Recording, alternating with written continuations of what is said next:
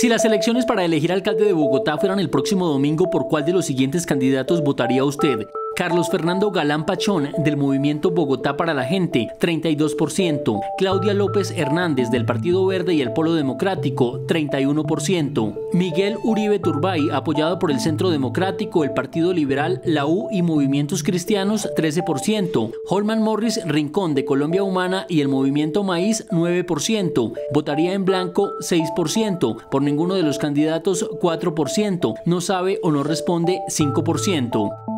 Esta es la ficha técnica de la encuesta.